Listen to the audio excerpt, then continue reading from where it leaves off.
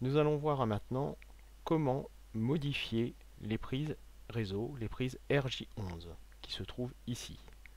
Donc nous allons modifier leur position et leur profondeur. Pour cela, nous nous rendons dans l'arbre de création et nous cherchons la fonction correspondant aux prises RJ11. Elle se nomme ici fonction prise RJ11. On effectue d'abord un clic droit, puis nous choisissons de modifier, d'éditer l'esquisse. Cela va nous permettre de modifier les cotes qui placent, qui permettent de positionner les prises sur le boîtier. Donc on va se positionner face à notre esquisse en cliquant sur Normal A.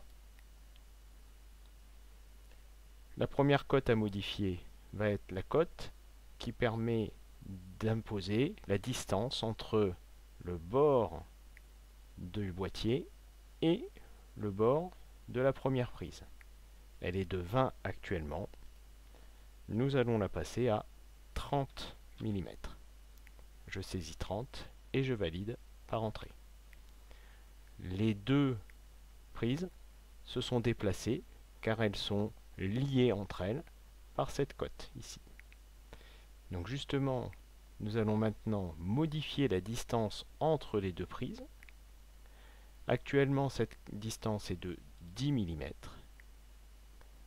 Nous allons, je clique sur la cote et je saisis la nouvelle distance qui est de 7 mm. Et je valide par entrée. On voit que les deux rectangles qui représentent les prises se sont rapprochés je sors de mon esquisse en cliquant sur la flèche bleue.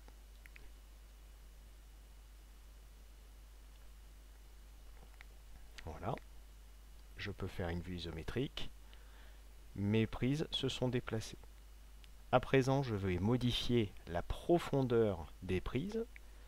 Donc je reviens dans l'arbre de création je réalise un clic droit sur la fonction prise RJ11 et cette fois-ci je choisis d'éditer la fonction. La fonction va me permettre de modifier la profondeur des trous représentant les prises. Je clique sur éditer la fonction. Actuellement la profondeur est de 2 mm je vais saisir la nouvelle profondeur qui est de 10 mm. Je valide. Je vois ici que ma profondeur a bien été modifiée. Je valide par la coche verte.